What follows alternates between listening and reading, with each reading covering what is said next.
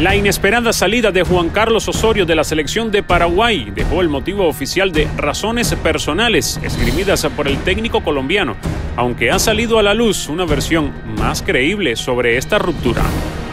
Según un periodista de la radio colombiana Blue, Osorio no quería firmar con Paraguay porque estaba a la espera de que lo llamaran en Colombia. Pero el presidente de la Federación Paraguaya le dijo, no importa, ven, aunque sean seis meses, si te llaman, te vas. Pero justo en ese momento apareció un intermediario que puso en contacto a los colombianos con Carlos Queiroz y la llamada a Osorio nunca se produjo, probablemente porque lo vieron comprometerse con Paraguay. Según el periodista, Osorio nunca firmó un contrato en Paraguay, trabajó gratis y solo dirigió un amistoso.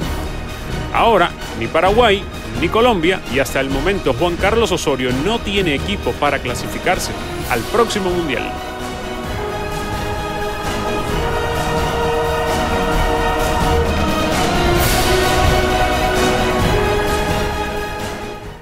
Que nos encontraste, no nos pierdas. Suscríbete a nuestro canal de YouTube de Telemundo Deportes.